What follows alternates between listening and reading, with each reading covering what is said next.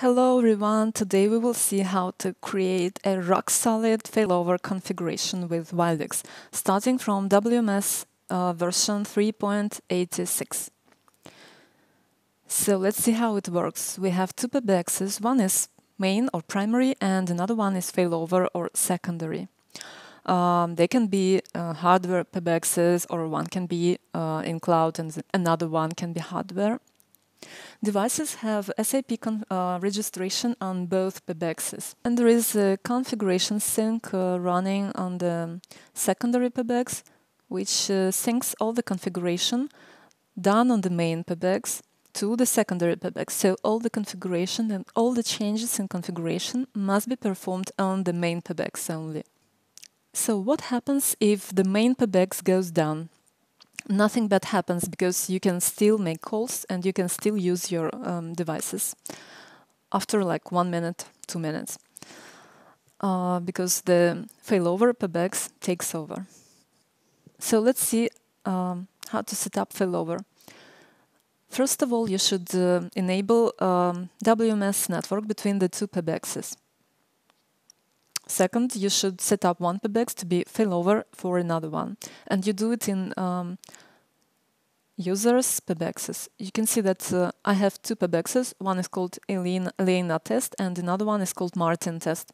And I set up Elena test to be failover for um, Martin test. Um, now I should do all the configuration on the main PBX. So uh, dial plan, call groups, um, devices, whatever. And right now I should um, run uh, the script on uh, failover PBX. So I connect to uh, failover PBX via SSH to Elena test as root. I run the script sync underscore PBX and I select the option 1, which is configure.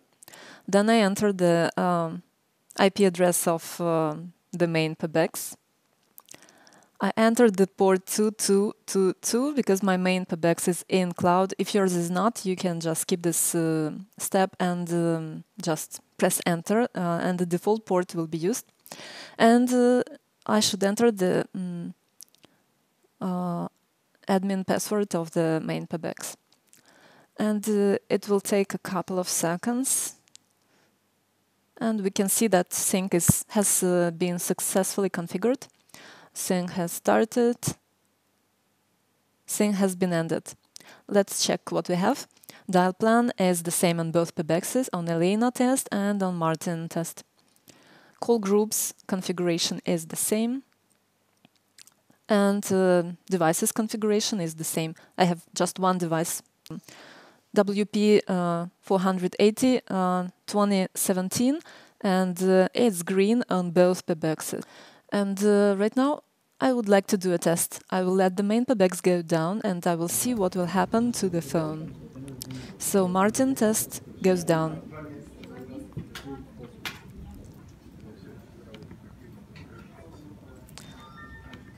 Let's see what happens to the phone.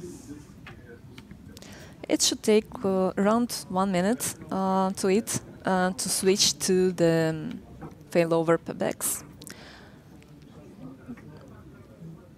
I'd like to do an echo test to see if it has switched already or not yet. So I call uh, 76 and we can see that it has not switched yet. Let's wait several more seconds and repeat the echo test. The sound test will now start. You should hear back everything you say.